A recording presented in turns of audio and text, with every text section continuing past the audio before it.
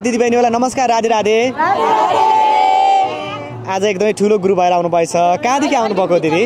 अँ, यो हाम्रो सूर्यविनायक नगरपालिका वडा नम्बर नौ।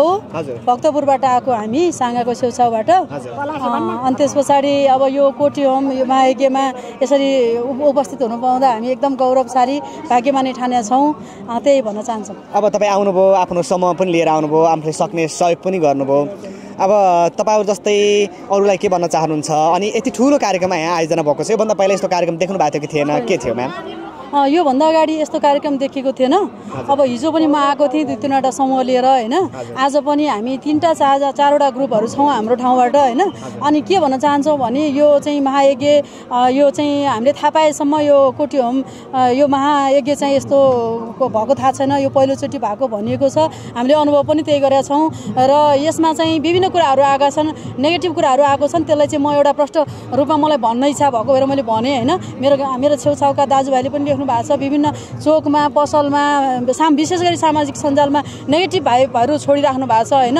यो धर्म संस्कृतिको कुराहरू भगवान्को ठाउँमा बसेर चाहिँ मैले के भन्न चाहन्छु भने त्यस्तो नेगेटिभ कुराहरू नगरिदिनु होला। एउटा ठुलो आँपको फलेको पाकेको वृक्षमा झटारो हान्छन् ढुङ्गा हान्छन् हाँगै भाँच्न खोज्छन् उसै पऱ्यो भने जरै भाँच्न खोज्छन् होइन? उस्तै फलफुलका बिरुवाहरू छिमेकीले किरा गाडेर तातो पानी हालेर मार्न खोज्छन् भन्छन्। त्यस्तै गरी धर्म विरोधीहरूले चाहिँ विभिन्न वितण्डा मचाएको छन् राजनीति गरेका छन्। अघि भर्खर हाम्रो सम्मान्य पूर्व प्रधानमन्त्रीज्यूले बोल्नु भएको थियो त्यतिखेर बोल्दा बोल्दै अब हाम्रो भक्तजनहरूले उपेक्षा पनि गर्नुभयो राजनीतिक रूपमा। त्यो तृष्णा छ र यो धर्मलाई चाहिँ धर्मकै रूपमा ल्याउँ पेसाको रूपमा अनि के अरे व्यापारको रूपमा नल्याउँ भन्दै हामी एकदम स्वच्छ मनले हामी दिदीबहिनी दुई चार सय जम्मा गरेर हिजो पनि आयौँ आज पनि आयौँ होइन?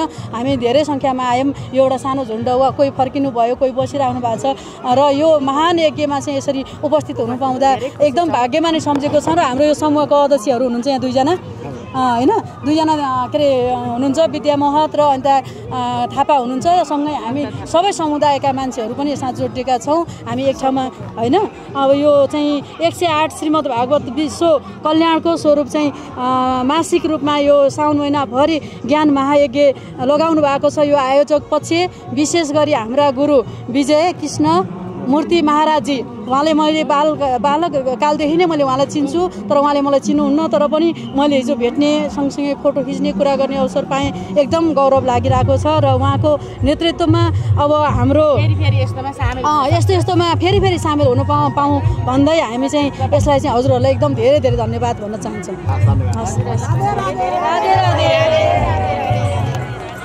सरोजीलाई स्वागत छ। धन्यवाद। हजुर चाहिँ कुन ठाउँबाट आउनुभएको? म कलानिधि इन्द्र सङ्गीत महाविद्यालय पुलचोकबाट आएको हो। अनि आज चाहिँ यो पशुपतिको त्यो महायज्ञमा आउनुभएछ। अनि यो पशुपतिको त्यो महायज्ञलाई चाहिँ कस्तो लाग्यो तपाईँलाई खासमा? यो पशुपति कोटी हो महायज्ञ गर्ने कुरा मैले धेरै अगाडिदेखि यसको प्रचार प्रसार जुन मैले सुन्नेमा आइरहेको छ। मलाई चाहिँ व्यक्तिगत हिसाबले म असाध्यै खुसी छु। जुन एउटा राष्ट्रिय मानव कल्याण कोष होइन? मानव सेवा फाउन्डेसनले जुन एउटा सडक बालबालिकाहरूको एउटा संरक्षणको निमित्त जुन यस्ता खालको कार्यक्रम गरेर केही विभिन्न भक्तजनहरूबाट आर्थिक सङ्कलन गरेर उनीहरूको सेवामा गर्ने काम देख्दा मलाई असाध्यै राम्रो लागिरहेको छ। त्यसै गरी जुन एउटा वृद्ध वृद्धहरूको संरक्षण जुन गरिरहेको छ त्यो छ। र केही समय अगाडि मैले राष्ट्रिय टेलिभिजन मार्फत विभिन्न मिडियाबाट चाहिँ थाहा पाएअनुसार मैले धेरै यसको यो कोटी होमको टिका टिप्पणीहरू पनि सुनिरहेको छु। तपाईँले मलाई व्यक्तिगत हिसाबले भन्नुहुन्छ भने वास्तवमा भन्यो भने म नेपालका प्रकाण्ड विद्वानहरूलाई के भन्न चाहन्छु भने यस्ता कार्यक्रमहरू यो मात्रै होइन। यो हरेक गाउँ गाउँमा यदि वैदिक सनातन धर्मलाई संरक्षण गर्ने समर्थन गर्ने र नेपाललाई पूर्णतः हिन्दू राज्य घोषणा गर्ने यदि हाम्रो मूल लक्ष्य लिने हो भने यस्ता कार्यक्रम यहाँ मात्रै होइन। हरेक ठाउँ ठाउँमा गाउँ गाउँमा सडक सडकमा गल्ली गल्लीमा घर घरमा हुनुपर्छ भन्ने मलाई लागेको छ। मैले टेलिभिजनबाट हेरेँ मलाई असाध्यै दुःख लाग्यो। धेरै प्रकाण्ड विद्वानहरूले चाहिँ यसको विरोध गरेर देख्दाखेरि मलाई दुःख पनि लाग्यो। किनभने एउटा सामाजिक कार्य गरेर एउटा कुनै एउटा संस्थाले एउटा हस्पिटल बनाउँदैछ तपाईँको चाहिँ एउटा स्कुल बनाउँदैछ कलेज बनाउँदैछ अनाथ घरको लागि एउटा हक हितको लागि एउटा विभिन्न भक्तजनहरूबाट आर्थिक सङ्कलन गरेर एउटा समाजसेवा गर्नु भनेको त्यो त असाध्यै राम्रो कुरा हो जस्तो मलाई लाग्छ। तर पनि अहिले विरोध आइरहेछ। म चाहिँ के भन्न चाहन्छु भने सम्पूर्ण यो टेलिभिजन हेरेर बसिरहेको भक्तजनहरूलाई तपाईँहरू आउनुहोस्। यो आफै प्रत्यक्ष आएर हेर्नुहोस् एउटा साँच्चै भन्यो भने यो गरिमामय कार्यक्रम हो। यो यतिको कार्यक्रम सबै मान्छेकोले गर्न सक्छ भन्ने मलाई लाग्दैन। यहाँहरूकोले अब जुन गुरुले गरिरहनु भएको छ यो मानव सेवा फाउन्डेसन फाउन्डेसनका मूल गुरुले जुन आयोजना गर्नुभयो धेरै मान्छेहरूको चाहिँ यहाँ साथ सहयोग भइरहेको छ। त्यसको लागि भक्तजनहरूलाई पनि म हृदयदेखि आभार व्यक्त गर्न चाहन्छु। र अर्को कुरो एउटा म के भन्न चाहन्छु भने अब ती विद्वानहरूले के भन्नुहुन्छ भने मानवले कमाएको पैसा दान गर्नुपर्छ भनेर उहाँहरूले नै भनेको सुनिन्छ होइन?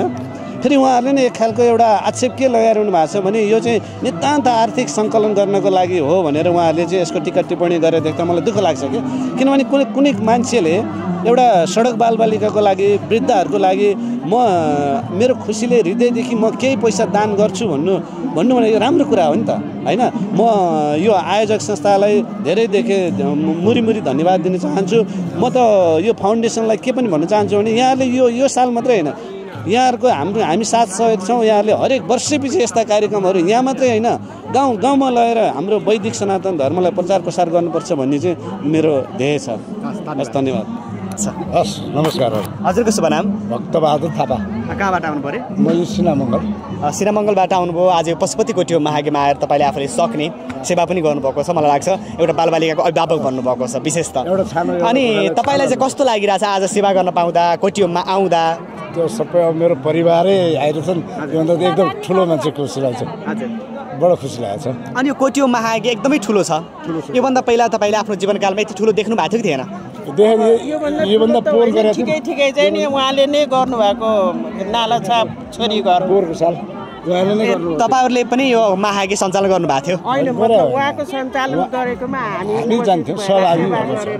अनि अब अन्य जति पनि भक्तजनहरू हुनुहुन्छ उहाँहरूलाई के भन्न चाहनुहुन्छ?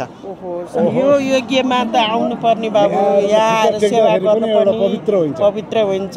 आफ्नो चाहिँ नि श्री भगवान् पशुपतिनाथको चाहिँ नि ठाउँमा होइन? जन्मस्थल भगवान्को चाहिँ नि आफ्नो थलोमा उहाँभन्दा साक्षात् भगवान्को पनि छैन बाबु। छ त?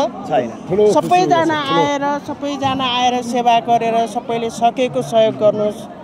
जस्तो अँ त्यही भन्न चाहन्छु। आफूले सक्दो सहयोग गरेको धेरै राम्रो। धन्यवाद। हजुरलाई स्वागत छ। ए धेरै धेरै धन्यवाद छ। हजुरको शुभ नाम मेरो नाम विजया खनाल। अनि कहाँ बस्नुहुन्छ? अहिले वसुन्धरामा बस्छु। वसुन्धरा बस्नुहुन्छ मानव सेवा फाउन्डेसनले आयोजना गरेको यस पशुपति कोटियो माघेमा।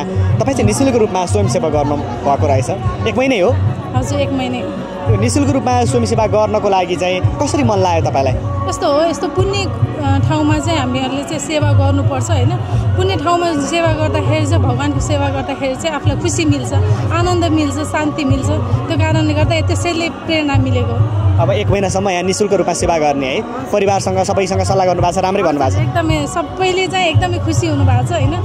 उमङ्ग उत्साह दिनुभएको छ गर गर भनेर मोटिभेसन गर्नुभएको छ त्यही नै हो। अनि त्यसै गरी अब तपाईँ लगायत तपाईँले चाहिँ सम्पूर्ण भक्तजनहरूलाई के आह्वान गरिदिन चाहनुहुन्छ? सम्पूर्ण भक्तजनहरूलाई मैले त्यही भन्छु कि होइन हजुर खुसी हुनुहोस् शान्ति हुनुहोस् घर परिवारमा शान्ति रहोस् सबै कुराहरू चाहिँ राम्रो भओस्। पुण्य कार्यमा चाहिँ हजुरको चाहिँ मन तन चाहिँ लागिरहोस् भनेर चाहिँ भन्न चाहन्छु। धन्यवाद। हजुरलाई स्वागत छ। स्वागत छ। अनि अहिले चाहिँ यहाँ पशुपति कोटियो माघे निरन्तर रूपमा चलिरहेछ दर्शकहरूको भक्तजनहरूको बाक्लो उपस्थिति छ। अनि अहिले यो कोटियो महायज्ञ कहाँ कहाँ के कस्ता कार्यक्रमहरू भइराखेका छन्? यो कोटिहोम महायज्ञ अहिले नेपालकै एउटा उत्कृष्ट खालको महायज्ञ भएको छ र यो चलिरहेको छ।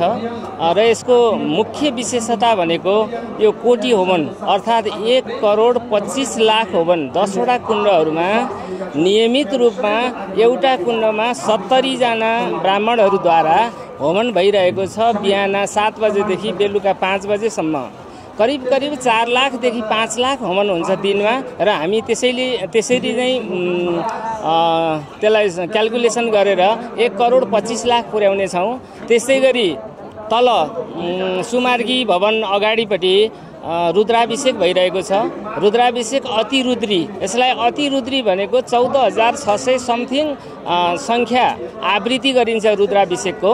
त्यो सङ्ख्या पुर्याउनको लागि त्यहाँ बाइसजना ब्राह्मणहरूद्वारा रुद्राभिषेक कर्म भइरहेको छ। त्यो पनि हामी यो यो महिनाभित्र त्यो अतिरुद्रीको सङ्ख्या पुर्याउनेछौँ त्यस्तै गरी एक सय आठ भागवत। यो एक सय आठ भागवत एक भागवत पढ्नको लागि पाठ गर्नको लागि एक एक स एक सातो लाग्छ सप्ताह लाग्छ। एक हप्ता लाग्छ। त्यस्तै गरी एक सय आठ भागवत पाठ गर्नको लागि हामी बाइसजना ब्राह्मणहरूद्वारा एक महिनासम्म एक सय आठ भागवत पाठ पारायण गरेर पुरा गर्नेछौँ। त्यस्तै गरी हंस मण्डपमा विशेष ज्ञान महायज्ञ सत्सङ्ग र भक्ति ज्ञान महायज्ञ यहाँ व्यापक रूपमा भइरहेको छ। अत्यन्तै अत्यन्तै लोकप्रिय अत्यन्तै कर्णप्रिय स्वरका धनीहरू गुरु महाराजहरूबाट यहाँ प्रवचन भएको छ। र यो न भूतो न भविष्यति यो न त भूतकालमा यस्तो भयो न भविष्यमा कालमा हामीले हाम्रो जीवनमा देख्न वा सुन्न पाइएला वा नपाइएला यो अत्यन्तै महत्त्वपूर्ण यज्ञ जसले जसलाई नेपालभरि अथवा नेपाल र भारतमा रहनुहुने सबै महानुभावहरूले यो यज्ञलाई एकपल्ट पशुपतिमा आएर हेर्नै पर्छ। यदि तपाईँहरूले छुटाउनु भयो भने यो त हाम्रो जीवनकालमा अत्यन्तै ठुलो ठुलो गल्ती हुनेछ। त्यसैले मैले यहाँहरूलाई म हात जोडेर विनम्र अनुरोध गर्दछु कि यो पाशुपत क्षेत्रमा भएको यो महान यज्ञमा एकपल्ट पाइला टेक्न आउनुहोस् भन्ने अनुरोध गर्दछु। हरिओम।